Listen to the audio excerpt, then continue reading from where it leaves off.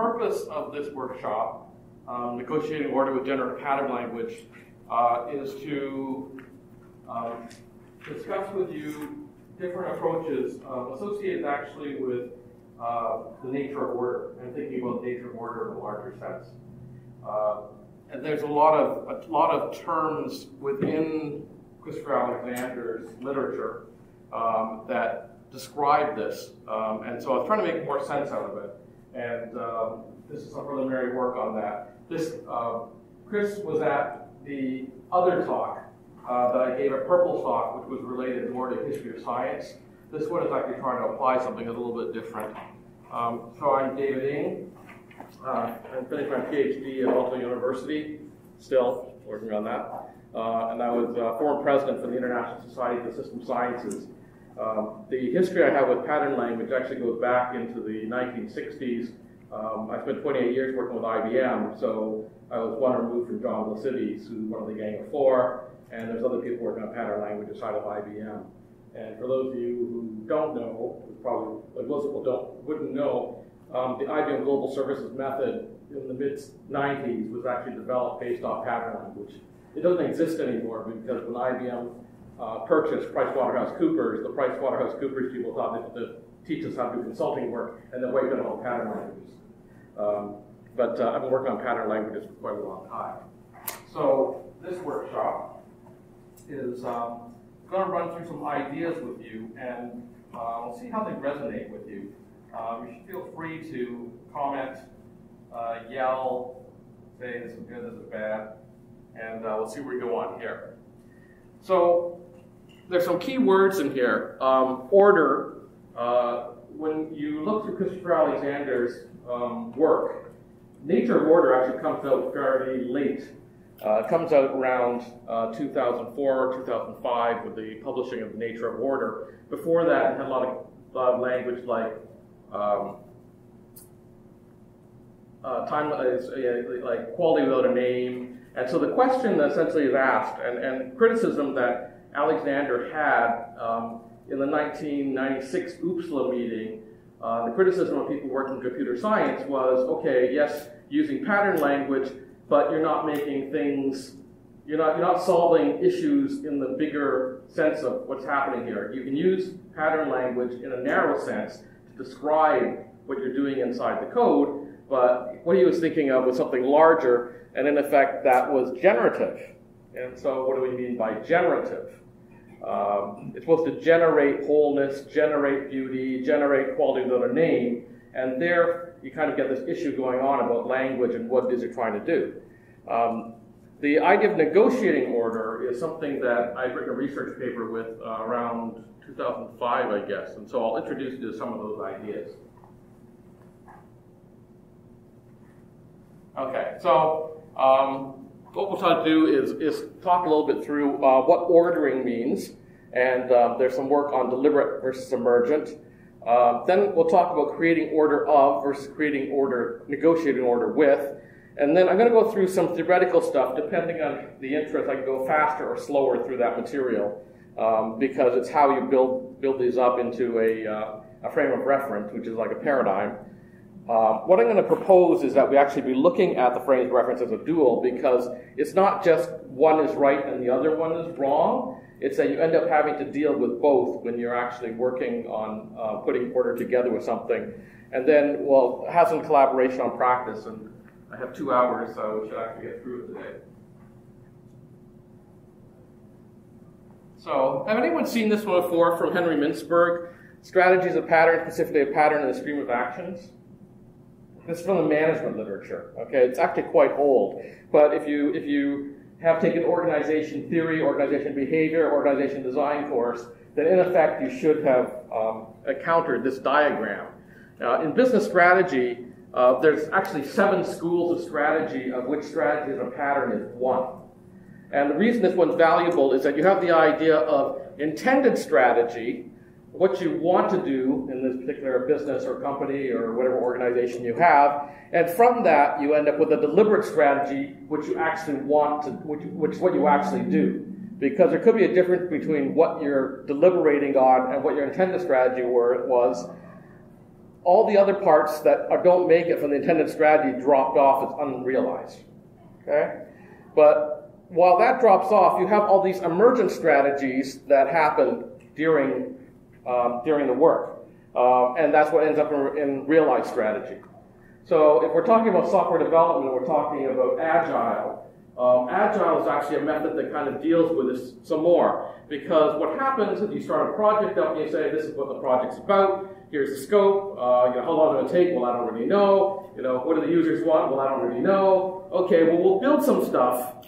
Uh, we'll start off with initial intention, and we'll start working on stuff, and then things, some things fall off as uh, unrealized, but then you always get this emergent stuff happening, which is, oh, I thought we were supposed to be building A. No, we're building B. Oh, okay, well, you know, that's not what you told us. Yeah, but that's what I want. so, so a typical problem that happens. Um, so the, the, this idea um, is, is involved in Christopher Alexander's work in a uh, implicit way when we start dealing with biological systems and evolution. Because we think about evolution um, and, we, and we appreciate evolution, but there are these things that happen as you evolve along, that the intended result um, may not, the intended direction may not be realized in the end. So if we were actually looking at pattern language to be complete, in effect, we should also be taking in the possibility for the emergent along the way. Comments, questions?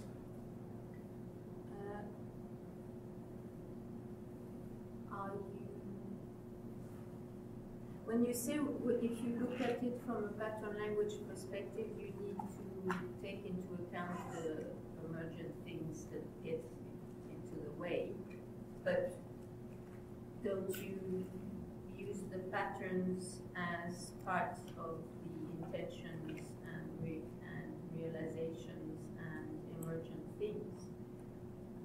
So I, I, I, have difficulties to formulate this question because it's emerging in a fuzzy yeah, way. that's fine. That's good. Yeah, my no, mind. No, that, that, that's why there's a workshop. Do, it's do good you to discuss this. what I'm Yeah. mean? So, so if, if there is this implicit belief that you should have a complete pa pattern language, you will never have a complete pattern language, right? Uh, so if, if, we go back to Christopher Alexander's work, um, one of the things, um, and I, I, think I'll get to, I'll get to this at the end. Uh, in the um, School, and so this is the uh, the Battle for Life and Beauty on the Earth, which is the 2012 book. Um, there is a section of patterns of the buildings and patterns of the land. Okay? The patterns on the land are actually pretty fixed. Um, you could kind of bulldoze and move things around, but he's got a pond in the middle of the, uh, a trough in the middle of the property. And so you can, you can put some of those things in as intended, but what happens is you also have all these emergent things that happen um, when you start building and then you see that things are not going as well as they're supposed to. Um, in particular, we try to put buildings on top of the land.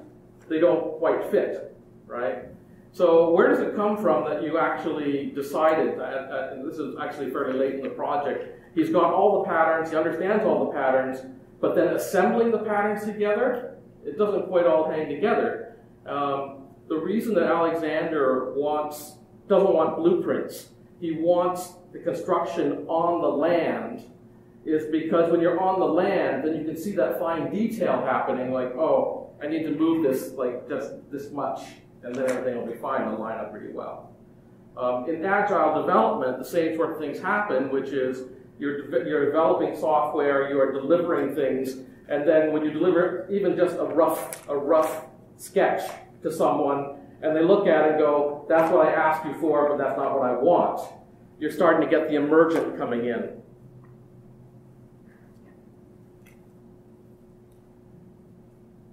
Okay? This is the this is actually probably the easiest slide on the uh, in the whole. So let's see how this all fits together with other things.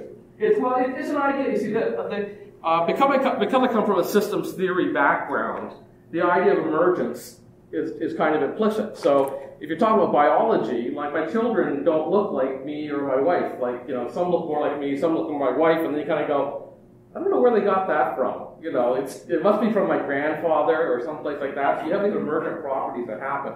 Um, you, you can explain some of them, you can't explain all of them.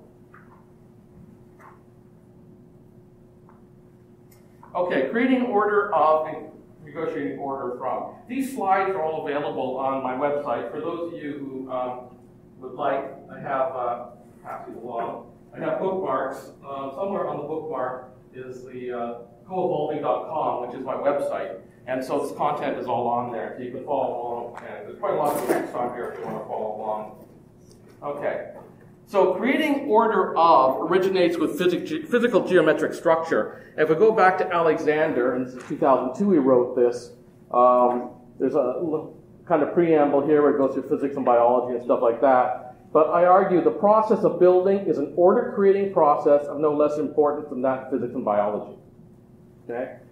So this is um, this is in I believe a paper that is uh, the scientific explanations um, for for uh, nature order, and this is uh, the references are all in the paper that's associated with this one. Um, when we start working through some more of the text, um, you'll find out that he says that um, he was influenced by David Bohm. Um, how many of you know David Bohm? Okay, one. Um, so David Bohm was a, a physicist uh, who, who, was working in philosophy. Um, some people would say that he's one of these people that works on trying to explain the theory of everything. Um, but he had some ideas about the about the way that uh, order is reached, and so David Bohm tried to outline a possible theory in which order types of many levels exist and are built in hierarchies of progressive, more complex order types. But none of this is suggestive of all directly useful to a builder. So Alexander liked the work of David Bohm. David Bohm tends to be a lot in the knowledge management literature, um, but wasn't using it in architecture or using it in built environments. So in 1999, um, this is the, uh, the work that was done. This was the 1996 OOPSLA paper, OOPSLA conference that was rewritten as a paper. And he says, we're looking for the extent to which, as a whole, a pattern language produces a coherent entity. Have you done that software pattern theory? So this is where the criticism comes in, is that he's looking for something that's not in, that's uh, not in a single pattern, but in a combination of patterns. Um, so one, one of the things that always strikes me uh, badly, this is because the way I use the language, I tend to use the term pattern language. I tend to not use the word pattern. Uh, because to me, a single pattern by itself is like saying it's a part. So talking about a tire when you're looking when you're really looking for automobile transportation um, and you're looking for a whole car, I'm interested in the tire in relation to the car, um, not just the tire by itself. So in this sense, we're not just at the pattern level, we're at the pattern language level, and you're looking to produce a coherent entity.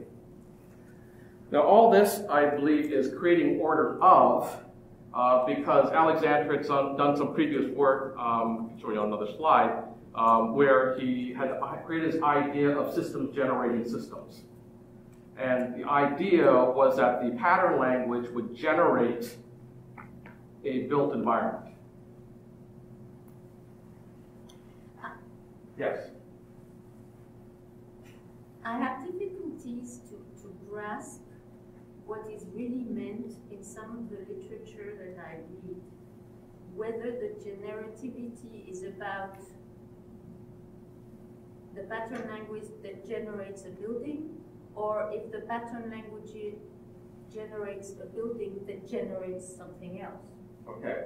And to me, the generativity that Alexander was talking about was the that the thing he creates generates something else, which is alive, etc. Okay. But, but sometimes I feel that in the discourse it's dragged back to it all actually is related to the patterns and the pattern language themselves that needs to be alive and gen generated. Yes. But do we forget the generativity of what is built? And when I, from your blog and, and, and analysis of the OOPSLA uh, video and conversation, I understood that he was actually himself, Alexander, talking about what the software and what the code that was applied to the software could generate as good in the world. So from the design to something else in the world, so Okay, so, so for the rest of you, if, if we start getting too deep, Helene and I are actually both in the systems community. So we have these kind of conversations offline. And I think it's a good place to have them because you, you don't get the opportunity to discuss this very often, right? So, so we're, we're now between things that we're finding unclear. So I, I think this is where we start having to be self-critical about what we're doing. Uh, because there is Christopher Alexander, and Christopher Alexander and what he does and his understanding of systems theory. And then there are other people who are working with what they think Christopher Alexander was trying to do, which may or may not be consistent with what is happening here. So let, let me draw the parallel um, to um, Humberto Maturana. This, and, and, this is getting into systems theory, who has this idea, if some of you may have heard the term autopoiesis. Autopoiesis is the ability of a system to create itself. So biology is based off the principle of autopoiesis. What happened was that the knowledge management people came along and said, oh, then we can use autopoiesis in terms of knowledge. And it's very, very common for people to use autopoiesis in terms of knowledge. But when you go back to Maturana, Maturana says, this has nothing to do with knowledge management. So you people are using the term autopoiesis, but it doesn't mean what you think it means. Supposed to be self-generating. So can you have knowledge create more generate more knowledge? He's worked out little biology. I'm talking about biology creating more biology, right? So Christopher Alexander, in my reading, and I'm willing to be corrected on this, he is concerned about generating the building. Okay, um, and there's a um, there is a architectural theorist, I think Schumacher, uh, who's written uh, autopoietic theory on um, on architecture, and he makes a distinction between autopoiesis and allopoiesis. Autopoiesis is like an organism that self-recreates. Allopoiesis he describes as a factory line. So you have a car, you know, you, have, you assemble a car, you put the tires on, you put the chassis on, you put the engine in, you put all this stuff, and it comes off the end of the line, and when the car is finished at the end of the line, that's it. That car is not producing another car. So that is allopoietic. Now, if, if you look at Alexander's work, I don't see any mention of allopoietic. I don't know if he actually discusses it. He did, you know, so, so he's now getting trying to infer what he was thinking about. Um, similarly, we, we have the idea of unfolding, unfolding wholeness in, in Christopher Alexander's work. But if you are working in biology, it's not like a physical thing where you put pieces together. And so my question is, how do you do enfolding? So if you're going to, if, if you think about, uh, so unfolding over time is like a flower. So the idea would be that you design a flower, it eventually blooms and flourishes and these sort of things, like you start in the seed, right? Um, but the unfolding is also that uh, in, which, and each step that you go forward, yes. take into account the current context. So okay. that, that is the, how Alexander said. The unfolding means, okay, uh, I don't have written down the complete plan. I say, okay, this is the next step. Let's see how where we are there, and then we do the next. So that's the unfolding. I think he's like, and it's pretty much like in a uh, genetic code where, where, where the uh, cells are evaluating the context again and again. Uh, well, well, yeah. There's there's a really interesting fine point because um, what happens when you if you keep evolving, you make decisions that cut off future branches, right? So, so there's things you can't do when you're standing at this point in time. So you're saying, I can go here, but I can't go there. So in order for you to have gotten to this point in time, you have to have already enfolded stuff that allows you to continue to move that direction forward. So, the, so the unfolding happens, but it, this is why I started with the first slide, because there's emergent stuff that happens. So there's things that you intend. So you program in um, an ability to self-generate, uh, okay, uh, ability to recreate my finger. So my finger gets cut off. I want to build in the you know, I'd be like a mute and I could read that in, right? So it would unfold that eventually over time my finger gets cut off, it unfolds, but there have to be the programming in that says that my finger gets cut off, I can actually have the ability to reproduce that part. So there, there, there's an issue in biology about whether uh, things are um, are built into the system. So the difference between uh, being born at a high altitude and being raised from a child at a high altitude, as opposed to you being born at sea level and then you go up to high altitude and now you have to adjust when you're an adult. It's a lot more difficult. So there, there's an unfolding and unfolding that happens with that. Now, trying to get back to Helene's original question, sorry, I'm digging down here, um, because again, this is parts where because Christopher Alexander doesn't do many citations, it's really hard to figure out had he thought about this or did he have a different interpretation, right? So, so my interpretation of his interpretation of what I've seen written, and again, I you know I welcome being corrected on this, is that I think all the stuff I've seen, and there's an article actually called Generative Codes, and the generative codes is to create a building or a neighborhood, but after that, the building doesn't self-generate. That's not what he's designed to do. So th- this is this is why I've been going and meeting people like like Max uh, Jacobson because I can ask him, and even he gets to the level I don't know, and I ask you know Hajo, and it's like oh, I don't know. We get to this point where you, you can only infer so much, and so there's a certain amount of theoretical work I think within the pattern language community. If we are going to move forward, we have to tackle some of the stuff. Christopher Alexander is not going to do it for us. So we can decide either way. And, and the purpose of having the workshop is to surface some of these things so you have your own position. Because I have a position, but the desire I have within the workshop and within the community is just know where you are and you know and, and decide this is the direction you want to go, and that's okay. But if you come in and you say, I'm following Christopher Alexander, I would go, Do you mean Christopher Alexander in 1999 or 2000? Because he keeps changing his language. Yeah. Yeah. Okay, so creating order of. Now I'm going to suggest an alternative. Um, and uh, in our discussion group earlier, we actually had the mention of Anselm Strauss. You mentioned Anselm Strauss. And so Anselm Strauss had the idea of negotiated order, which was that social order was negotiated order.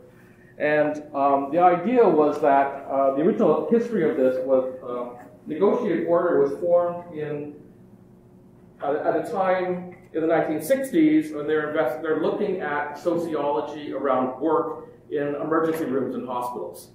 Uh, and so at that time, uh, work rules weren't very tight, and so you would have people, uh, you would have um, people coming in the emergency room. Um, the doctors would be mopping floors because they got really messy. The nurses would be doing things they're not supposed to do, but things need to work out in the emergency room. And then they went to uh, the, the regulators came in and said, no, doctors do this, orderlies do this, nurses do that. And they discovered that people were dying because the job descriptions were too narrow. So Anselm Strauss wrote this idea, wrote this uh, book actually that includes the idea of social, of negotiated order. And when you say the term negotiated order, negotiated order doesn't necessarily mean negotiating with a person, although it can. It can also mean negotiating with an environment in the way that you drive a uh, drive a car around a mountain curve. So you negotiate when you're driving that way. So you may negotiate with an individual, but you may negotiate with a non-physical environment as well. Um, question, question. Yes, yes, yes. Is this close to organized complexity? No, this is way before. This is 1960s, so we're nowhere near there. So yeah that I, I, it could, but then you, but Strauss didn't write it, right? And yeah, yeah, yeah. yeah. But, but the notions are they? No, no, because the because the, uh, the complex adaptive system doesn't come until after 2000. So yeah, it's it's much much later. So um, now um, one of the issues is that as we're working more in social senses, and this is why it's interesting working in, at PURPLSOC. So PURPLSOC is a pursuit of pattern languages for social change. And so it's clear they are working in the social domain. Now, the question we have when we're working in information systems, because Hillside Group has the has a heritage that way, is about what is the system boundary. Are you is your system boundary just the software, or does your system boundary include the people and the software? And that was a criticism that Alexander had in 1999 in, from the 1996 conference. Um, and, and if you start getting over to the social, then it's not just creating order of a kit of parts, you're now negotiating order in a social sense. I think if you think about software development, the two two groups of people involved. One is the end user of the software, Mhm. and the other is the uh, the programmer. Sure. So I think the, the designers and software design are addressing the program, Mm-hmm. which is good because you make better software with that. Mhm. And I think, but that's one of the points that I think Alexander missed because he said, well, you're not having, you don't focus on the end user, which I think it's a, well, we, we don't do it, but it's actually the patterns that we have in software design are, are designed so that the, the programmer feels better. I would argue that you did, um, and, and this is why I'm, I'm, and I will come to that at the end. I will return to that um, because I, what I've done is I structured through the 2012 book, and so I believe the method is fully described in the 2012 book, where he includes the people and he does all the negotiation. So I'll come back to that. Um, so 1978, in 1991, um, there's the idea that comes from um, uh, Nathan and Mitroff, Mitroff from the systems community, and we start talking about, well, okay, now how is it, what is it you're negotiating with? You have an organization, and this is a social sense, right? You have the organization set around the organization, the industry, interorganization, and so now you're dealing with negotiating with all these things simultaneously. That's what, that's what it's like to be in business or in organization science. In um, 2005, and this was resulting from a 2003 uh, paper at the ISSS meeting in the system science community, um, I was a co-author on this work, and the idea was about um, negotiated order in network form organizations, which is primarily social. And there's two types of order that we were talking about there. One was negotiated order, as I've described here, and the other is legal order, which is rules. Okay? And the rules get set up more in the sense that Alexander got uh, described them, that there are rules of law that you put up, and then the rest is negotiated. So the, the sort of result you get here is that, uh, and the, the, actual case study that we were looking at was um, the Linux, develop, Linux development, open source development projects. So how many rules do you actually need to put into an open source community to have it function?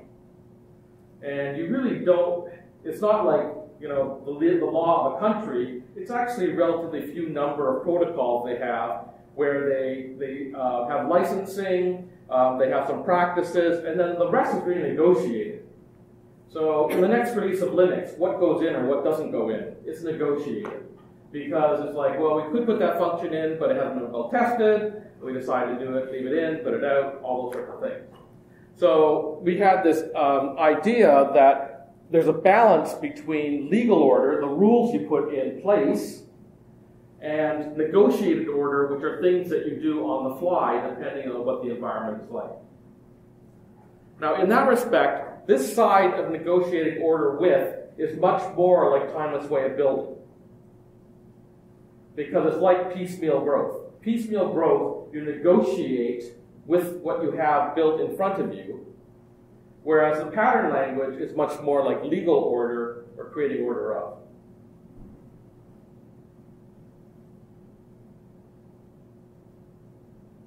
Okay?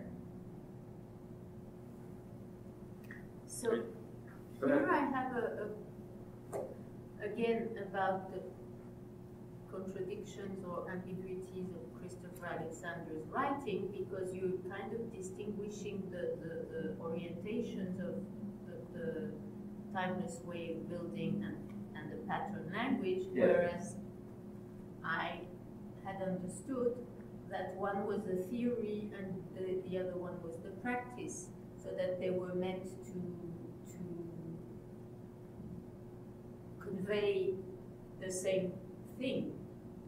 Uh, Well, different different aspects of the same project, let's say. yes, but one being the practical application of the, second being the practical application of the first. So so you're saying that there was a kind of a shift No, no, no. I, w- I wouldn't put the division that way. I would put the the so again. So I refer to systems theory. So so uh, there is structure and there is process. In systems theory, structure is arrangement in space, and process is arrangement in time. So what happens is that the pattern language is primarily about structure, and timeless way of building is primarily about process. But you need both. And, and so just at this at PURPLSOC last week, when I was talking to Max Jacobson, if you actually look at the numbering of the volumes of uh, the, from the Center for Environmental Structure, where the books are published, the timeless way of order is volume one. Yeah, the timeless. Sorry, timeless way building. Timeless way building is, Yeah. is volume one. Yes, but it's actually 1979 it was released. Pattern language came out in 1977. So they were issued out of order, and what Max told me is that in some respects, Alexander was slowing down the release of, um, of the timeless way of, of, of building because he, he wanted to get more pattern, pattern language done. So he wanted more structure done before he published the, um, uh, the process. I think it's somewhere in the forward, one of the two books, he also says that why, Yes, yes. why he, he published it in that order. Yeah.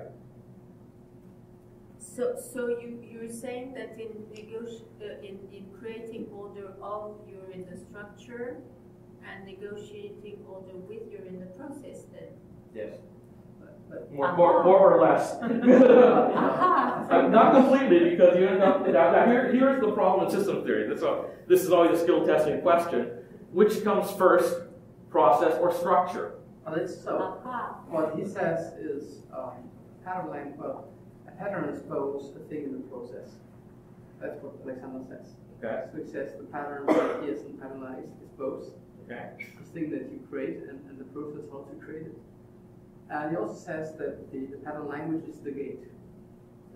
Right, so that is the way you have to go through the pattern language. That's pro- so it's not the single pattern, it's the using the, the path through the pattern language that goes the thing. Uh, the, the, so, so in systems theory, so I was in systems theory for eight years before I was having a with G.A. Swanson. I asked him which comes first, process or structure. And he says, it's obvious, isn't it? I said, no, it's not obvious. He said, process comes first. It's like, really? I said, why is that? It's because, um, because process, structure is the slowest changing process ever. Um, and so to us, a mountain is a structure, but actually a mountain changes. So, so, so you end up in this duality between structure and process on scales of time. Um, and, and is more durable in that, in, in that sense. Um, so, so there's a little bit of confusion here. So, uh, so speaking to Helene's, creating order of is, I, I'm not going to go as far as saying it's strictly about structure and not saying this is strictly about, and, and negotiating or strictly about process. It's like, I'd say it's more for each, but we, we kind of end up now having to redefine terms and what do you mean by that sort of stuff. So, yeah. Yeah, because actually you have, you have structure which is a slower, slow changing process. I mean, the pro, the structure that is the result of, of an evolution of something. Mhm.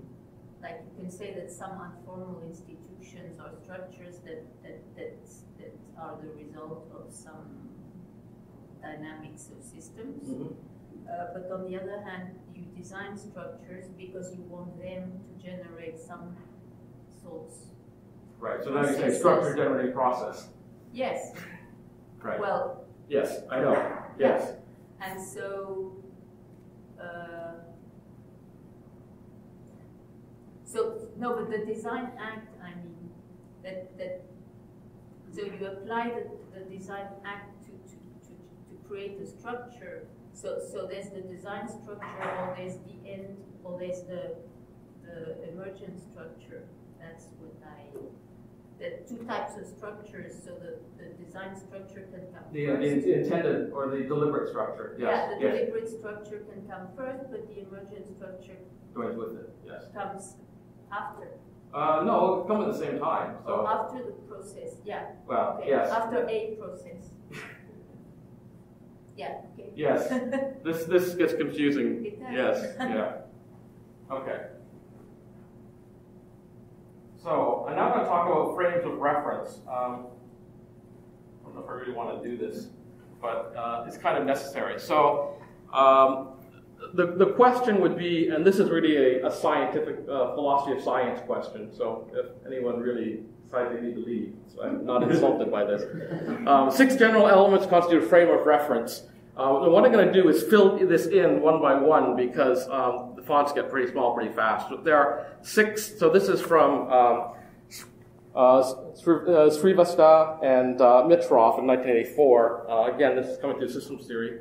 Um, there's, there is six elements of frames of reference. First, the cognitive elements, cognitive operators, reality test, domain of inquiry, degree of articulation, metaphors. I'll have to explain each one of these like I'll step through them with you. Okay, what are cognitive elements? The most basic units of people, person's belief systems, they include one of the same cognitive categories and bits of data that take for granted or required so basic they're beyond doubt. These primitive cognitive elements may be regarded as the fundamental units of information that support a person's inquiring system or concept of the world. Okay, so we're down at the level now, and, and I will eventually get to this where we start talking about creating order of versus negotiating order with. And we'll, we'll step through each one of these, you know, end up with a left-right sort of thing. But the cognitive elements, in effect, are the things that we take for granted in the system. The cognitive operators refer to the methods by which individuals order and rearrange and make meaning out of large amounts of data. Cognitive operators include classification schemes, models, analytic devices, and common sense theories, which, with which individuals broadly approach inquiry. So if we, we, we just had a, uh, I, I was working with, with the um, group that was discussing uh, pattern mining. So in the first cognitive uh, elements, it would be, okay, so what would you consider a pattern? Um, then the next one would be, how would you classify them together or reduce it? That's how you create the, uh, the logical of it, the logicality of it. Reality test guarantee or validate the realness of the cognitive elements, cognitive operators, and the knowledge the information itself. So, the, in effect, you've got the cognitive elements, which are the input, the cognitive operators, which are the process which they're going through, and the knowledge information itself, which is the result. They validate knowledge and the process of inquiry by expressing symbolically the legitimate connections with the critical shared social and cultural experiences. Collective social and cultural experiences form the basis of these reality tests. Um, so again, we're just being top of mind. We just had this workshop where we're talking about um, about pattern mining using the JK techniques, and they come from a Japanese context. And one of the questions we're having was, is that just a Japanese context, or is there more than that that it works in multiple contexts? But the reality test about whether the thing hangs together or doesn't hang together. Domain of inquiry refers not to the limits of a specific incident of inquiry, but to the limits of the entire set of cognitive maps that individuals use in inquiry and generation. The breadth of inquiries is a function of individuals' knowledge base and their appreciation of alternative reference frames that are, is the reflexivity in inquiry. So this, this is, in effect, um, bringing together multiple people to, to construct a view of the world, right? Um, so when we talk about the domain of inquiry, the domain of inquiry is what we decide it's going to be. Um, it, you know, this would be, if you're going to design a pattern language, what is the scope of the pattern language? Is a pattern language for built environments only? Is it only for building software? Is it only for social change? Or can we actually look at other domains? Um, what's the scope of the domain? Are the cognitive, in, in this frame, yeah. are the are patterns cognitive elements in this frame? Are they cognitive operators in this frame? So patterns, in, if you take this frame, if you take individual patterns, they would be cognitive elements, number one. Then combining the patterns would be cognitive operations. The reality test would be whether they actually fit together or not fit together, because the premise is if you go back to architecture, are you going to put a roof on something with no supporting structure? Uh, domain of inquiry then would be uh, now, are we going to judge the uh, whether the house is a good house? Are we going to judge it as people who are constructing it, or as people living in it? So, what is the domain of inquiry? Yes, or are we going to practice or a domain, or are we going to work across disciplines, etc.? Yes, exactly, exactly. Degree of articulation is the degree to which assumptions and the other four elements have been articulated and codified It also reflects the degree to which the individual's frame of reference will be and can be shared by others. Um, this is the part where, we, where it's reflexive in the pattern language. Uh, and um, if we are going to mature, and I, I, I kind of hear this from um, the description this morning about moving from the, from the leader of uh, writers' workshops, moving from being just a traffic cop to being a teacher, is that you, is when you're a teacher, you tend to bring out the thinking of other people. So we're reading these things and and one way of just having the traffic cop would be, you know, go around and circle and have people discuss what they see in the writing. The other would be is that someone with more experience would now go, well, do they mean, do you think they mean this or do you think they mean that? Because if they mean A, then we'll go this direction. If they mean B, we'll go this other direction. So there are, is uh, a lot of uh, critical thinking that happens in this phase, and I think that um, that that that has to be more, it should be better articulated, should be more expressed than, than what we've seen today. And finally, metaphors. Embedded in the language and jargon used by individuals, they permit the symbolic representation of the organizational world in meaningful ways. They go on being uh, beyond embellishments of language by stimulating the understanding of assumptions through creative process of comparison and crossing images. They describe unnameable characteristics in individuals' frame of reference by drawing implicit analogies with known objects and experiences, thereby explicating and clarifying obscure and nebulous aspects of the frame of reference. So, um, this is where we start getting to a little bit of, of tricky territory when we describe the world because our words are never enough. It's never the full reality. And so I think I heard something like we speak something like uh, uh, something like 22 metaphors an hour or something like that. It's, it's, it's, it's some incredible number that people speak in metaphors all the time. And we communicate metaphors because it's richer and faster.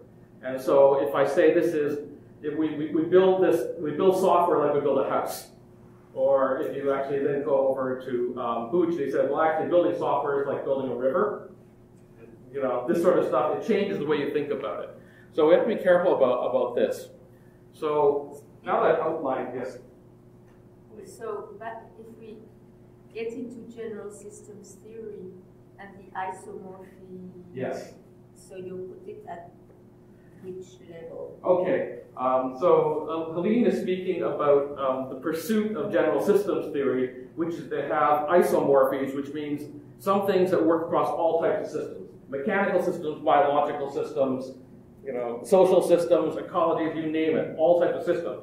There are not many isomorphies, and they're, and they're really hard to express. Um, so Len Troncale is the guy who leads this sort of work. Um, metaphors are not models, and general system theory deals with models. Uh, hopefully the models don't break down, because what happens at a certain point when people say, uh, they make a metaphor, and so um, uh, you I got hit by a Mack truck, right? I had a flu. I got hit by a Mack truck. Uh, that, that sort of thing. You didn't literally get hit by a truck. You got feeling that way. Building a model of someone having a flu as getting hit by a truck is not a really helpful thing. Right? The general system theory is about models. It's not about metaphors. Yeah, but you could argue that a model is a kind of metaphor brought to perfection or close to whatever you well. No, no. That that's why Boulding had um, had categorizations in the skeleton of science is because there are, properties that are in human systems that are not in machines and clockworks and these sorts of descriptions. So that doesn't mean that there aren't some isomorphies or common things across systems, but at, at different levels of systems there are special properties.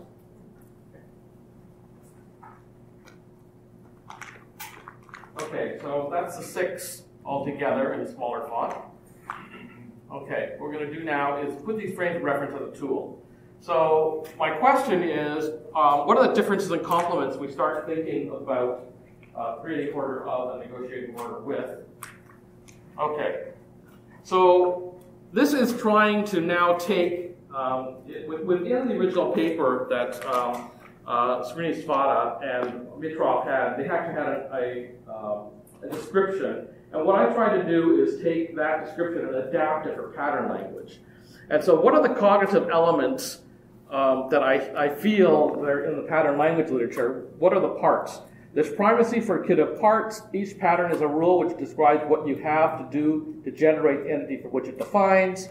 Uh, intellectual commitment towards wholeness, beauty, and or quality without a name in a common pattern language cross community. So if you're creating order of, you're in the pattern language, kind of operating with that.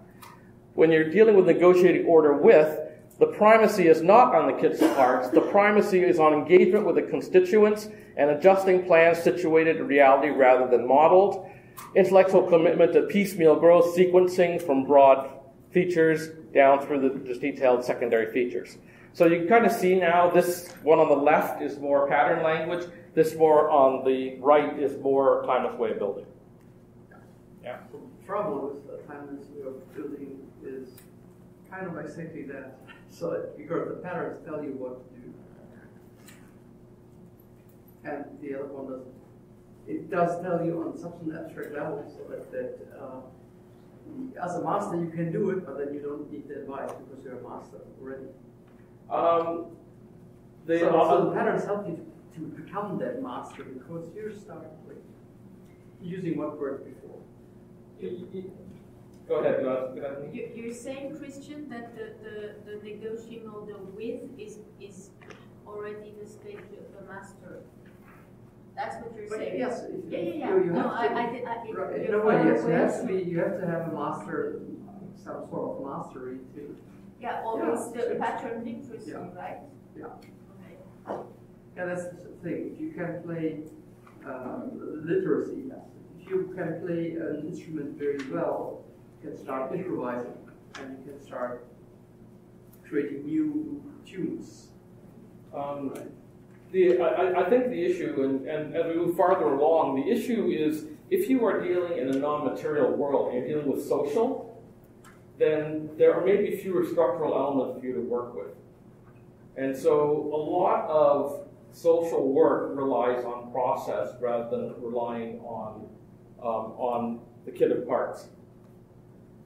So if you take medicine, um, does medicine rely more on the kit of parts or the process?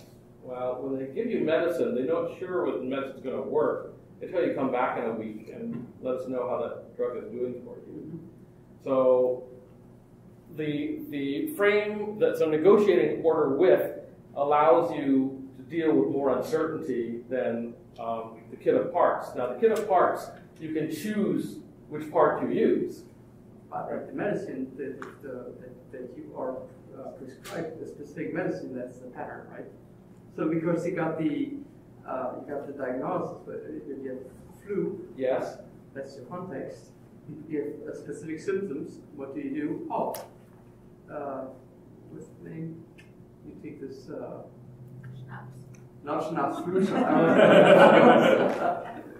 like cupping drops. Yes, yes. So, so, so, so now, now you get into uh, whether you'd rather deal with Dr. Google or a real doctor because the Dr. Google would probably be more on the left side, and dealing with a doctor is more like dealing with the right side, right? Um, so one of the things I learned recently about um, uh, about why they do medical histories every time every time you go to the doctor, they seem to ask you the same questions, you know, and it's like, you know, isn't this in the records? And, and apparently they do that because they don't trust you. Uh, firstly, things may have changed, but secondly, they don't trust that you actually that the records are correct. Because unless it's the same doctor making it over and over again, it's possible the other doctor made a mistake. Um, so, yeah, it's. So, but it's actually, I think it's good. So the medical example is a very good one. I, I remember some time ago, people used to write patterns in a medical way, like symptoms. Uh, some, some still do it, and side effects okay. or uh, um, uh, what the uh, count, counter indications, this kind of things. Like you shouldn't do it if, if you if this is showing up. And I think the, difference between the two is what feedback cycle do you have? So do yeah. you really uh, say, okay, I see the symptoms bound, there you got it, and see again in one week, or is it more like, okay, I tried this, so that is the negotiation part That is where you constantly evaluate Yeah. uh, whether you're heading to the right direction. Did did I get that right? Yeah, yeah, no, I, I agree. And, and, and so again, I'm not trying to say that one is right and one is wrong. It's just trying to understand a little bit more what's going on between the two. Yeah.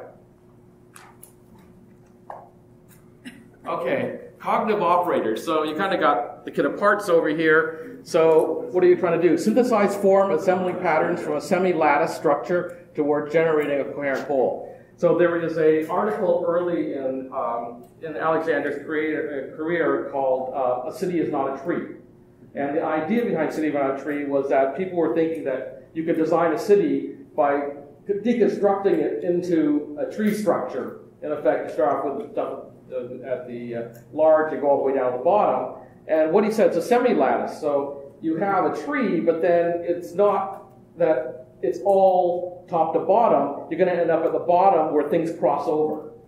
So you have a, if it, if it was a, a, a tree structure, then when you get to the leaves, it only comes off one branch. But in effect, in a semi-lattice, that leaf could be connected to multiple branches. That was the idea of a semi-lattice. So the kit of parts gets more complicated. But there is the idea of um, synthesizing form where you have um, more the big structures at the top and the small structures at the bottom. This is something I haven't seen that much in pattern language generation. But if you look at Christopher Alexander's work, he starts off, well, you know, a pattern language is subtitled with uh, buildings, towns, and construction. And so he starts off, the first patterns are towns. He starts off with large scale things first, and then he goes down to small things, and you all go down to interior decorating. Right? Um, so that is the, the original um, frame of reference. Converging on a collective subjective judgment that is that one configuration is superior to another. Turkish carpets. And so we always get, and here Gabriel talk about the carpet on the left and the carpet on the right, um, that people will generally agree the carpet on the left is more beautiful or more coherent or speaks more to you, uh, whatever that's going to be. Uh, the cognitive operators under negotiating order with, reviewing and adjusting the pattern language with the wide variety of stakeholders towards explicit approval. Now, this shows up specifically in the uh, 2012 book, uh, in the Battle book, because um, we have this now have this question about pattern language, and from what I've seen from Alexander's practice, every time he goes on a new project, he creates a pattern language with that community. He does not take the patterns that he wrote in the book and then reapply them. Right? Um, you also have now fitting centers on the faster pacing layers, which is the building, on the slower pacing layers, the land. I'll come back to that again in the, in the patterns, but there are multiple patterns going on, and so you have the idea of scale um, and things working simultaneously. So just one comment. I think that's a, so I think, was doing it all the time it's not something new. He did it even before he wrote a pattern language, mm-hmm. using new pattern languages for each project. I think that's one of the shortcomings of the software community that patterns always have to be generalized patterns, like rule of three. And I always thought that patterns are really good tool to create new projects as well. We had an interesting uh, discussion in a writing group this morning about pattern language being a set of requirements for designing yeah, right. something.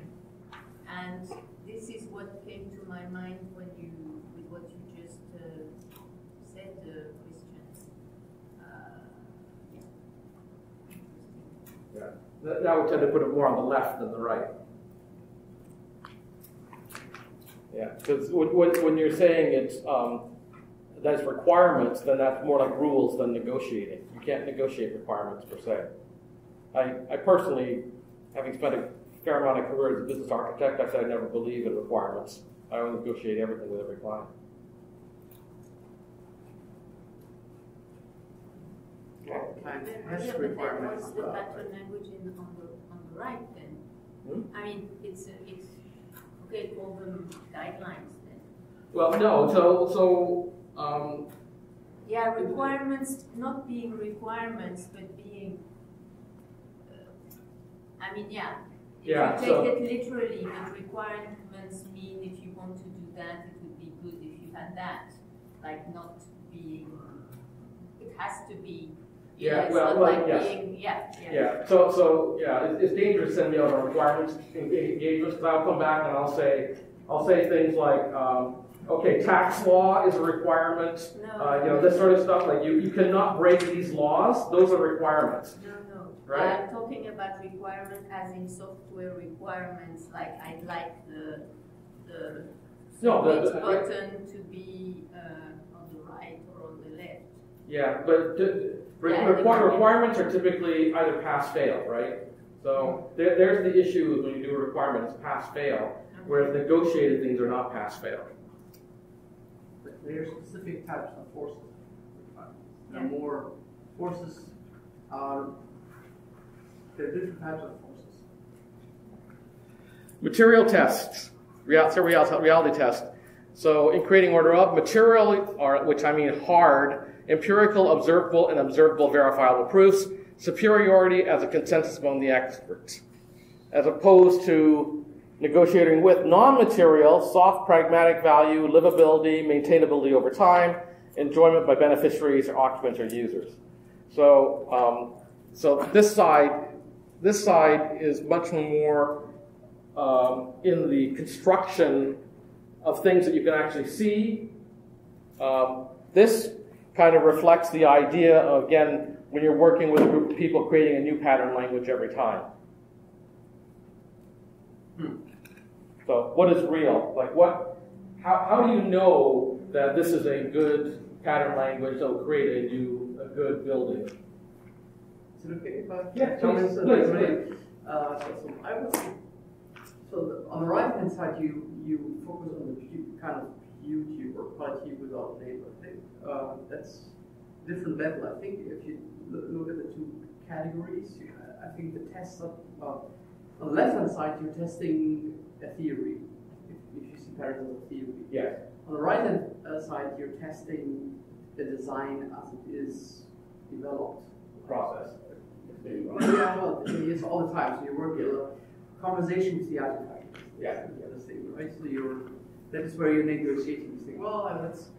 So the pattern would be this kind of setup of the chairs. That is, you can test. Let's say, well, this setup is good for for for good collaboration. On the right hand side, you would just say, okay, I just ah, it's put it there, so you're doing all this testing where you have the negotiations. Say, well, let's do it us until we have the good setup for the collaboration.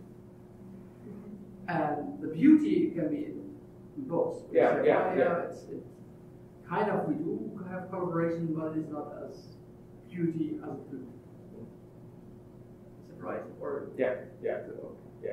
Because so I would have these two levels. So, so the and it's more difficult to test the, the beauty of something.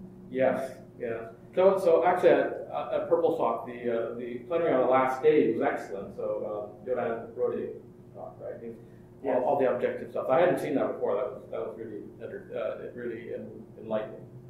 Christian, uh, but I, I agree with what you said, but you're assuming that, um, the priority was collaboration. So, you know, we're putting the chairs for collaboration, so mm-hmm. that was our goal. Suppose we wanted to put the chairs for comfort. Well, you know, we're kind of close here, you know, and maybe, I mean, I sat here because I walked in late, you know, and so I want, and so, I don't know that you could just I, I, I- I guess, where does the goal fit in all this? You know, in the design, because you're, you immediately jump to collaboration, and I look around here and see this doesn't look very comfortable.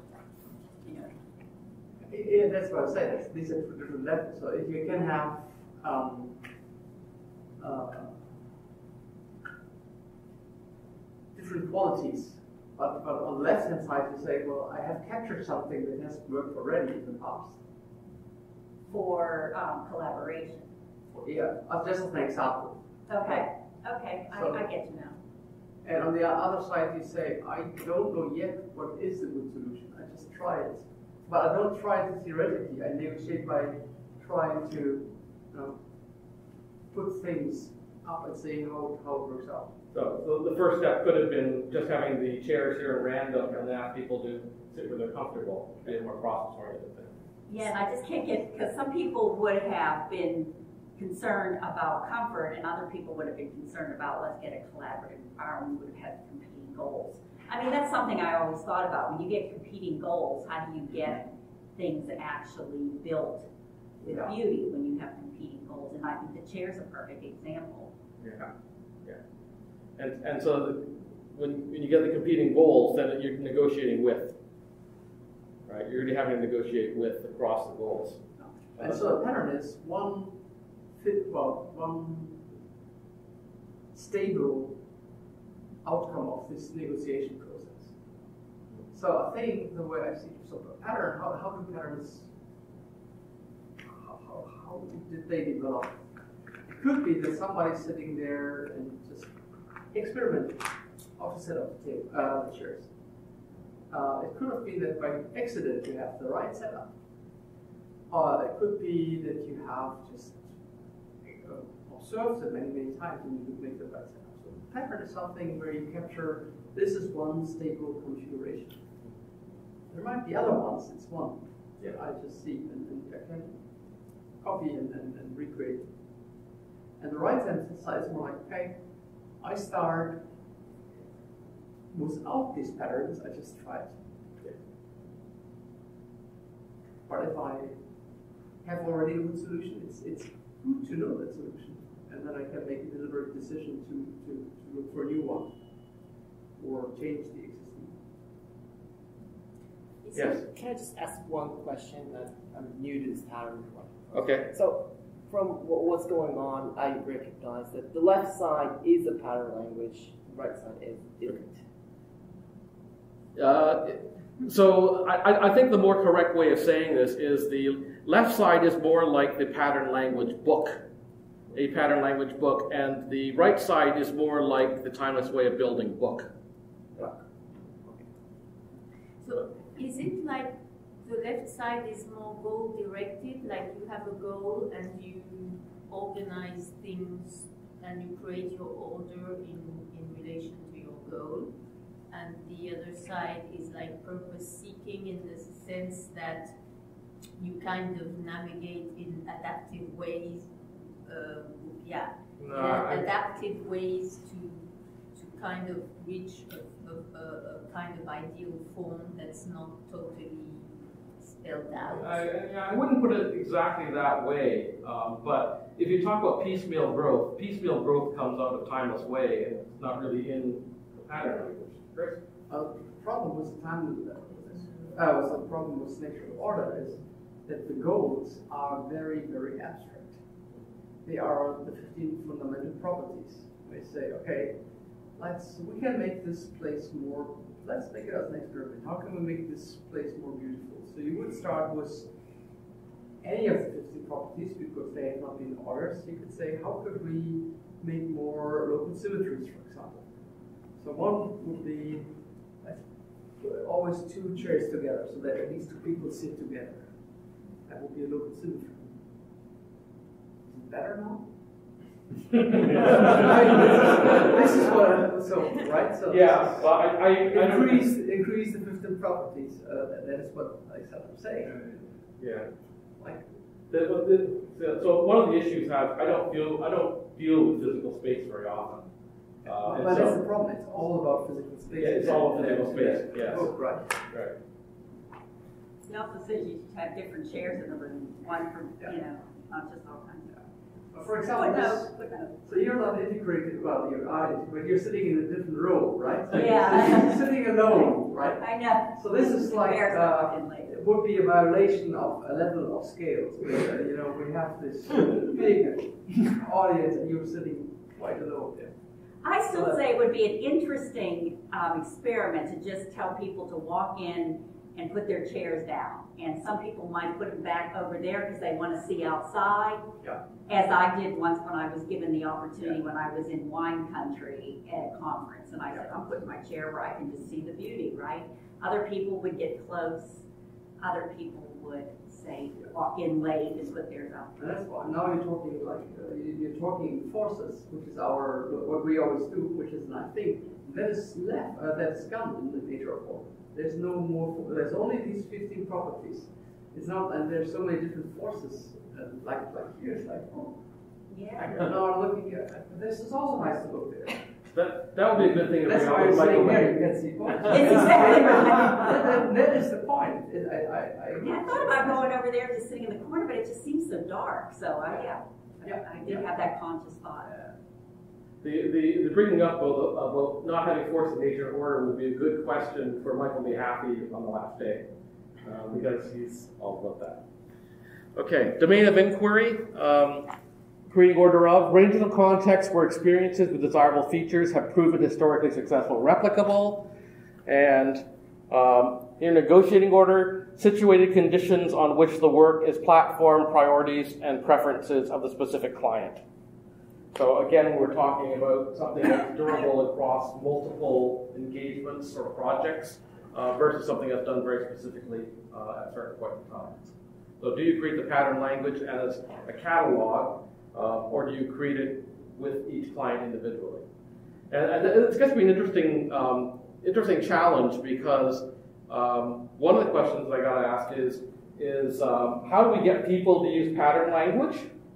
And one of the ways could be not bringing the pattern catalog, because as an organization consultant, sometimes you come in and you use the words of the client and use only their words, and, and, and that's much more powerful to them. And I've, I've actually done engagements where it's like, wow, I would never have used that word, I would never describe it that way, but that's what it means to those people in the organization, so I have to use their words. That's being on the right side, where it's very situated. Uh, but that's not replicable. That's not replicable. Because the next time I go to another client, it's kind of like, okay, conceptually it's the same thing, but the words are all different, and I have to do um, dig over again.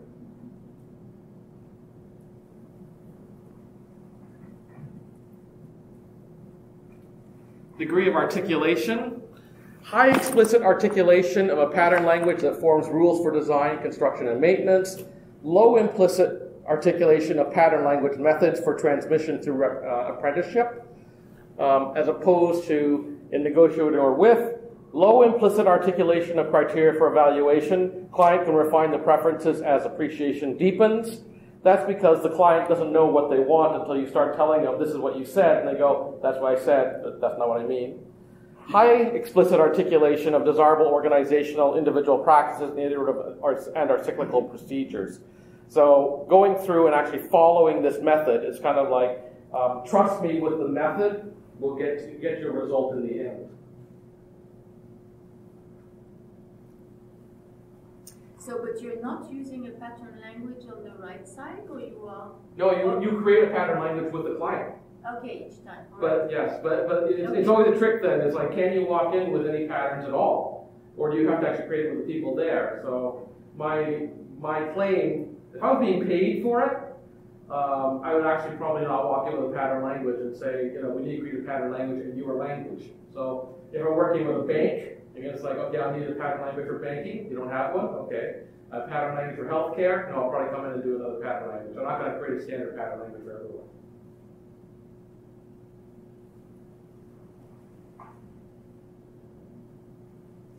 Can you just, I have a here.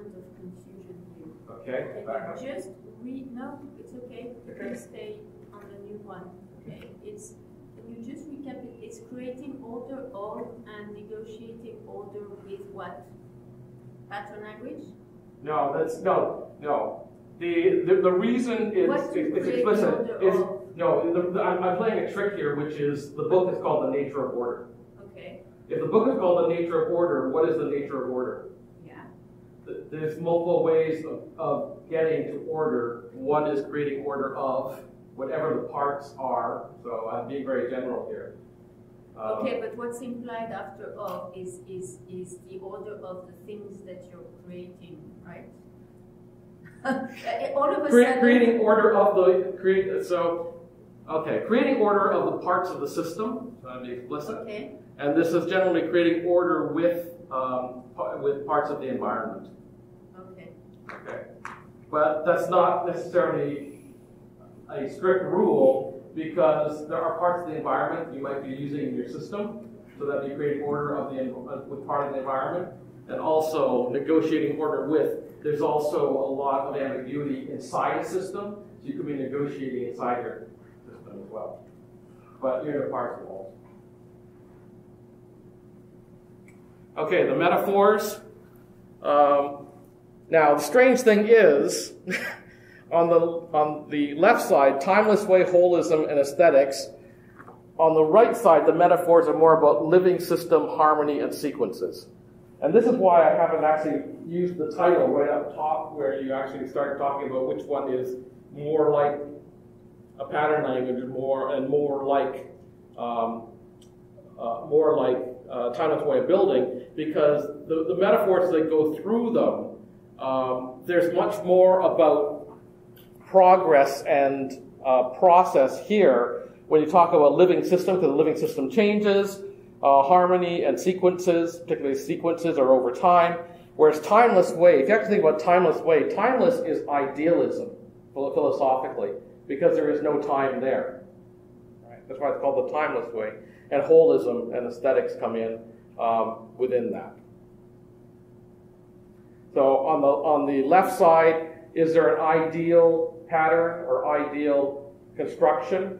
Um, the, the and again, this comes down to the way architects approach it. Is there an ideal building? And the left would say there is a beautiful ideal building. On the right, it would say, well, it evolves over time. So when you say ideal, do you mean at what point in time? I'm not sure whether the patterns are timeless. Are the patterns timeless? Did, did Alexander say that the patterns are timeless? It's the time, timeless way of building. So Yeah, yeah, Yeah. but that's something different. it's building. It's The building. timeless, the timeless way is, uh, the timeless way is the method. Yes. That is timeless. Yes. But, but timeless means there's no time. It means idealism. Universalism. Universal. Yeah. Yes. And that, I think that what it is, that is, his, uh, he- uh, pattern theory or the pattern approach is the, the timeless thing. Yeah. Like, taking complete context into account, understanding the forces, the forces shape the, the form, uh, that is the time. I think it's like the, uh, the specific way of building that's timeless. I'm not sure where, I think. But the timeless comes from the fact that it dates back, as I understand it, it dates back to immemorial times. What? Well, the, the, the, the, the, the, the way of building in a, in a uh, like the, the, using uh, tacit knowledge to build. As I understood it, it's using uh, uh, uh a, non-explicit tacit knowledge of building that is immemorial and date back in time, so it's timeless because it No, no, back. no, as soon as you said date back in time, you put time in it. And so, so timeless, in my interpretation, we can debate this later, timeless to me means ideal. And, and so, uh, so in, in system theory, this, we actually run across this with Ackoff, and with, uh, Ackoff in particular was idealist. Okay. Okay, so so there's no room for relativism when you're talking about absolute beauty, because there is an absolute beauty. The people on the right would say there's no such thing as absolute beauty. It depends on the, the situation, depends on who's evaluating it. No, but, the thing is, it is the timeless way of building and not buildings, Mm-hmm. right? But that means there, that there's a to- there is a universal way of building. Yeah. Yeah, Which which is, could which is To, to build. Embedded in, in, in, in the human psyche. I mean, it's interesting because I, I, I lived in for several years in Indonesia and I was kind of looking at ethnographic stuff and ways of building Mhm. and how the, the, the constructions on piles on the, and the, the, the shapes of the, of the houses and the, and the, the way that it was almost like a ship was, was all over the Pacific in, in all different types of ethnies and it was a, a form of a, of a universal or they were calling it an archetypal way of building houses over, over thousands uh, or hundreds of years. So, so that was the timeless way. for the Indonesians. No, no, no, not only Indonesians, like in China, in south of China, in, in all the, the Pacific uh, rim. So probably there were some, some migrations and some, some moves that all came from, from similar places, but it had, it had uh, maintained, I mean, the, the, the ways of building have been uh, conserved for, for, for, for generations and generations and generations, and I think that they were also found in other parts of, of the world as well. So, so to me, it was a, it, it, there was some form of, of, of really not idealistic universals that were there and that were that were uh, facts. I mean, uh, proven. Uh, So, so. um, so let, let me let me help with the distinction. So, my friend David Hawk likes the book. Um, there's a book called Building the Unfinished. Uh-huh. Uh, if you are building the unfinished, you cannot be building the ideal because it's unfinished. And, and I'm not talking about ideals here. You are. No, no, I know, but again, I'm trying to, I'm trying to get on the Yeah. left side, right? Yeah. And, and so, so you, you- it's a philosophical discussion about idealism Um, and whether you can pursue idealism or not. And so, just philosophically, you end up falling one side or the other and make a decision. Yeah. Yeah. Okay. I think there was no ideal, but never mind. Okay. Um, so we covered those. Now, how do we use this in practice? Okay, the Eishin project. Now, this is the steps um, that I've interpreted. They actually come from the section titles within the uh, the Battle for a Life and Beauty book. So, what, how do you actually do pattern language? How, how did Christopher Alexander actually execute on this in 1985? So, firstly, interview on hopes and dreams. So, he went and spoke to teachers, he spoke to the students, spoke to parents, uh, people living in the neighborhood, and interviewed them on what they wanted in this new college, high school campus in Japan. Number two, make a poetic vision as first sketch of a pattern language. Um, at, at this point, he's just trying to get the feedback from people, which is we interviewed all these people, this is the sort of thing we heard. Um, then, when he's done that, um, make a rudimentary pattern language physically coherent. So, you need to have all the parts actually of the site. So, they want a judo hall, they want a great hall, they want a library, they want classrooms. You have to make, put all that stuff on the property. Number four, revise, revise the language through discussion. At this point, you're actually going in and showing people the pattern language, getting bored, saying, we can actually build this. We're now talking about concrete places. Number five, obtain approval of the pattern language. So before he moves ahead, this is the pattern language we constructed. Number six, renegotiate the pattern language with space and money within budget. What he does, he takes the pattern language and says, okay, well, um, if we were to construct a judo hall, a judo hall needs this much space. You have a library has this much books, has this much space. You work through it all, and it turns out there's like 30% larger. 30 the, the needs of the building are more than the the site will actually handle, right? So he comes in and, and says, you need to shave off and make this make the your wants and needs fit into the building and the budget, fill out the land and the budget. Um, and so initially, what you can do is you can add more space to something, but only if you reduce it from someplace else. And what he did was just cut 30% off everything. And so 30% too big, we're going to cut space 30% off everything, and now it fits on the property.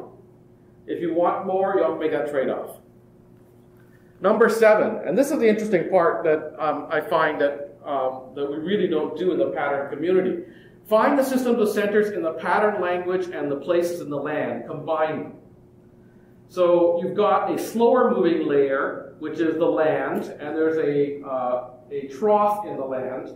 So if you're going to put in um, a pool or you know some water feature there, there's a natural place to do it. There's a ridge that has a better view, and then you have all the buildings and trying to put them in. And uh, he actually writes about this and shows sketches in the book. And originally, the entrance to the property was on the south, and that's the way they planned it for a long time. But when they actually started working with the system of centers, The only way they could get the buildings to fit was to put the entrance on the east side, not on the south side.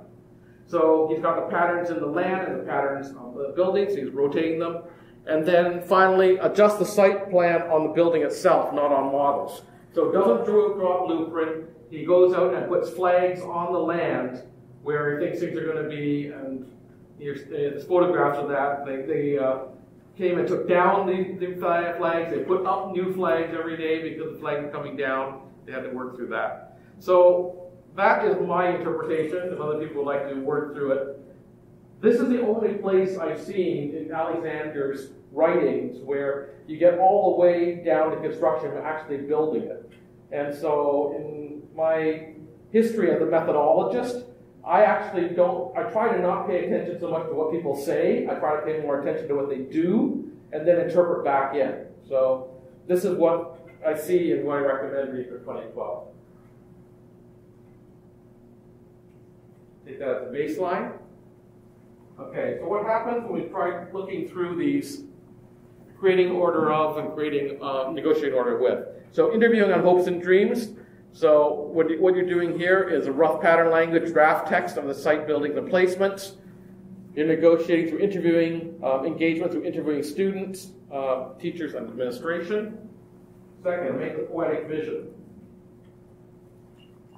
The preliminary architectural text. Now, these are not drawings, they're actually just text of the campus precinct, the streets, yards, hall, great hall, building, and lawn, and negotiating with meanings and expressions of intent conveyed by teachers, staff, and students.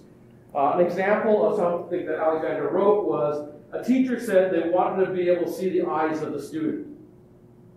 That's it has some subjective as what it means when you're actually looking at people how light the room is and how far away it is. Um, it's a little bit different from, from the poetic vision. Make the rudimentary pattern language physically coherent, not to scale drawings of patterns with seven principles ensuring completeness of the language, um, as compared to visual representation reflecting inclusion of the features from the dreams of the interviewees. He's trying to get traceability over here. He's trying to get all of the content on the uh, left side. Refine language for discussion, refinement and further detailing of the pattern language in text, Discussions with the constituents confirming the concerns have been addressed. Uh, making sure that the process is going through that, that they've got the right idea. Approve, get obtain approval of the pattern language. Eight key centers, 110 patterns, uh, but the negotiating order with is now acceptance the architects have appreciated the concerns and interests. So you've got the actual pattern language now of the property but what's important is that the architects have actually now got everything that the uh, teachers and the staff and the students actually wanted. Um, what's the eight key centers? Is the centers the fundamental property centers? No, no, no. These are the no because he did it on the land. So the key property centers were uh, what do you call it? Oops, they were the actual buildings.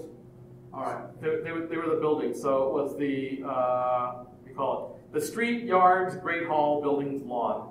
Oh, okay.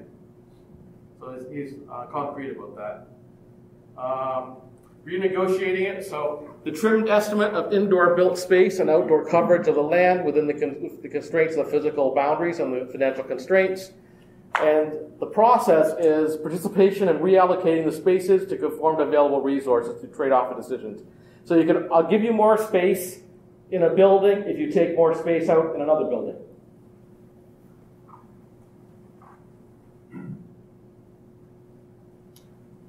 Find the system of centers in the pattern language, place the land, combine them. So you have geometric configuration of centers in the pattern language in a feasible coherent whole. And you have the reality of the lands like the ridge and the swamp with abstractions of buildings yet to be constructed. So, you know, what's real here? Uh, at this point, um, this is all abstract because they haven't built anything, but you still have the, the centers that he's trying to enforce within the internal coherent consistency of the pattern Adjust the site plan, plan on the site itself. You do surrogate visualizations, which are marks and flags on the land to conform with pattern language. and you have progressive refinement of the pattern language into a physical reality. He's trying to move from the abstract into the physical. So I do recommend for if you're new to pattern language, start with the 2012 book. It'll make things a lot easier. okay, that's everything on one page. Now, disciplined agile delivery. Um, so I don't know how many of you have actually looked at Scott Ambler. Um, Scott Ambler um, He'd been writing about Agile for quite a while and ended up working at IBM for six years, producing a book and then leaving the company, which was interesting. But in effect, he wrote the idea of, uh, of this. And the question is, can we put this sort of stuff, we are at a uh, ACM conference, can we put the disciplined agile delivery into this framework? So there are three phases, uh, inception phase, construction phase, and transition phase. Start off with identifying a project vision, scope, technical it's this sort of thing. Now we're moving out of building construction into software construction. What does it look like when we do that? Um, actually, I think this is where I stopped working on this. this is where we start getting into the part because the, it takes takes quite a while to get this far. The workshop part. The workshop part, yes. um, Okay, but uh, but also um, the part of the motivation for this is I've been working on uh, service system thinking. And so uh, service system thinking is working in service systems, not in software systems. You have human elements. Um, but uh, at this point, I think you've been sitting for a while. Um, what do you want to do? You had enough? Do you want to discuss more ideas? You want to, well, it's up to you.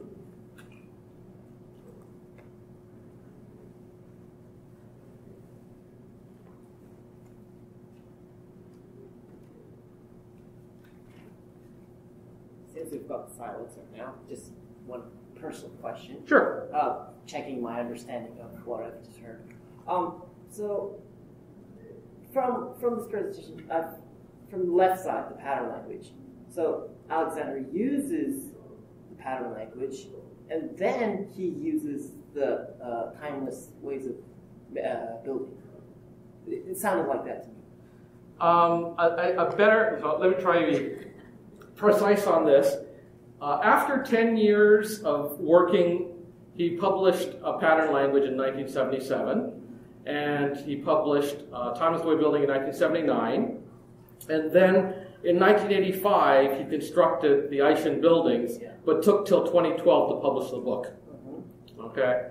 Um, between the two, he wrote four-volume book called The Nature of Order that has everyone confused uh, because it's difficult. It's firstly, it's a huge book, uh, and, uh, and and there's a lot to it. There's a lot of theory in it.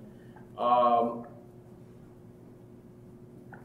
the the question of you know if Christopher Alexander was to advise you what to do. Um, he at the ACM OOPSLA conference in 1986, he said, "You guys are software people. I know nothing about software." Okay, so whose problem is that now? So that makes it our problem, right? Yeah. Um, so we end up in the situation where um, some people just take the pattern language directly and use it and say, well, it worked in buildings, it'll work in software. Uh, but there are others who go, well, you know, it's not really like a building. It's like, a, again, so Grady Booch says that, you know, it's like a river. architecture is like a river. So I haven't answered your question at all. um, but I think this is part of what we, we need to grapple with within the community as we're moving forward. And it's a maturity thing. So, so in, in, in Alexander's um, way of, thinking, yes. would he divide these two? Was, was he dividing these two way of thinking? Just, just curious. So his, so what so speaking, so we just had a conference with, with Max Jacobson, and he was saying it's all about beauty. And so he, he, he asked me, it was a funny, it was a funny sort of thing that happened. He actually came and asked me, okay, you visited the Eishin campus? I said, yes. Was it beautiful? And I paused, and he's going, wow. You know, if, you, if, if, if if he if Alexander put all his effort into doing this as a major life work and wrote a book on it, and you pause, what does that mean that it's not beautiful? I said, well, visiting the Eishin campus, I found the the land beautiful. So you know, he put a lake and he put the buildings up, um, but he did this funny thing with all of the um, all of the classrooms in that he used dark wood, and so there was this this discussion about um, about students. Then it, it, was it was a construction for like medieval Japan, like it was not modern Japan. And, and I made the comment that when I was there, uh, I went and they they put addition on the building, and we put the when they put a new classroom in, it was all bright. So um, the the, the way I look at Christopher Alexander's work is he started with a, and this is the talk that I gave. Eventually, there'll be a recording and a blog on my website uh, from the talk I gave last week. Is he started off in 1964 with notes on a synthesis of form, and as a scientist, he he wrote what he knew at that point in time. And as he progressed more, he started focusing on different issues, and he, he changed the terms. And there's actually um, uh, a change in language. So within the nature of order, he has um, structure, structure sustaining. I forgot what the phrase is. I'll have to look it on another slide. He, in the in the um, scientific explanation to pattern language they published in 2002, he actually says uh, not structure enhancing wholeness. Structure preserving. Structure preserving, yes. Yes, he changes the terms from structure preserving to wholeness preserving. And so he writes that specifically, and in effect, what he's saying is if I had to go write it all over again, I would change my language. And so when you're reading Christopher Alexander over a long period of time, it's like, okay, um, there are people who are specifically anchored on either a pattern language or timeless way of building, but that's probably a trap to do either one. And, and this whole arc that goes on. Um, in, in, the work I'm doing, I'm actually trying to get outside of that a little bit more and try to develop not only with Christopher Alexander, but with um, Horst Rittel on wicked problems on Wes Churchman with systems approach. So, so that one, maybe we'll do that next year's PLoP. because Chris, Chris was at the one uh, we just did on Saturday, and uh, 90 minutes in, everyone had to leave to go out to the workshop, so we didn't have the full time to do it there. Maybe we'll repeat that next time and try to get through the whole content next year uh, that full two hours. Um, but, but I think that there's a lot of fundamental issues about, uh, about Christopher Alexander's work that, and, and, and we, I think we've had a great discussion here because Helene, thank you, and Chris, thank you very much for contributing because these are things that we don't get to discuss very often. We don't get the opportunity as a community to come together and think about what it is that's underneath all our work and all the assumptions we're making. Um, when we come up a little bit more and have that opportunity, then we can start saying, well, we might do something differently that might improve the way the practice in the community works. Um, some of it may be on the right side and more context dependent, some may be on the left side and more universal, but um, we should probably be addressing that. Did I answer your question, yeah, China? It's, it's, I feel so much better. what was your, your topic at Purple Song? Just, you, you said it, but I forgot.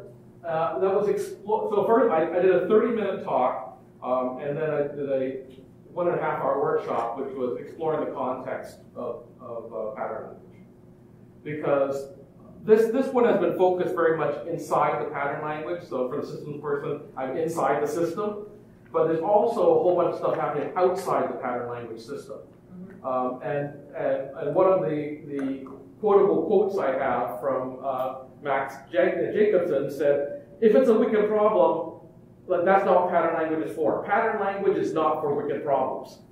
And, and then we have a person sitting right behind and says, that's all I use pattern language for is for wicked problems. And then I have to do the definition of what is a wicked problem. And, and so if you want to use something like pattern language, then you know you need to adapt the work of Mr. Alexander. You can't take you can't take it strictly. Who said it is exactly for, for wicked problems? That it is not for, No, who said it was exactly for, for wicked problems? no, no, the woman said behind, the woman that's working, be, I'm not sure who this woman was, but she is someone that's coming to PURPLSOC and says that she is using pattern language specifically for wicked problems. Yeah. I, you don't remember who it was? No, I don't remember her name, I'm sorry. Yeah. You remember, Christian, who it was? Um, He was in the front of the room. No, no, no, I know who it was, I don't know. I- Yeah. But, but again, you see, so, so now she has ammunition to think about Look the comments. Oh, is it, is it, um, Silke? I don't know, I'm bad with his name, but it's, yeah, we can. Okay. Yeah, Well, if yeah. it, if you come across the name. Yeah, yeah, yeah. So, so I'm, I'm taking the pattern language approach, but, um, um, and I think I'll discuss it like, so, so, so next month I'm teaching in Shanghai, and I think that I'm going to be calling it affordance language because I'm making, I'm doing it on affordances. Um, and, and it's gonna require a lot more shifting to the right side than the left side. But I, but I believe in the hillside process, and I believe in conferences, but it's a different domain, and so, uh, I think we need to make some changes. But I think it does, to catch the subtlety of the difference between one side and the other is pretty hard, I find. I mean, because, uh, uh, you know, you, you, you get to pattern language and you think it's one constituted, you know, thing. And, and, and so you get there and you grasp some of the things, and when you think you grasped it, then it branches out, and you have these. So, so it's it, it's not obvious to, to make these distinctions. I mean, and it's I feel it's great because otherwise you feel things are so ambiguous because they're different. You know, you see that there are contradictions, uh, and probably I think there'd be a third column. I don't know which one exactly. Could be, But uh, there could be one, well, which, this is what we tried with the fourth generation, you know, systemic, where we, we look at what the, the, what the patterns, uh, like the processes that, that are generated by what the patterns enable to build. And, and I discovered a, a term that I thought, you know, I was going, uh, it was ontological design. So I don't know if you heard about that. ontology, Ontological design. ontological design, oh yes, a language action perspective, yes, sure. And, and so from what I understand, it's about the, the life or the processes that what your designs, it's the way your designs design you back, or it's the way what you design uh, has itself a design action on your environment and on yourselves and on us as a, as social uh, systems. Mhm. And so I think this column is actually missing. It's, is the part that what's the consequence of what we design and what are the processes that are unleashed with our designs. And I think that I reiterate that what you had on your first slide, which was Christopher Alexander's intervention at OOPSLA, 96 was to say, hey, what are you doing with your code and what are you doing with your software? You're not changing the world for the better. Right. Well, that's in this third, in this other, uh, another uh, Column, yeah. column or dimension. Yeah, yeah, yeah, yeah.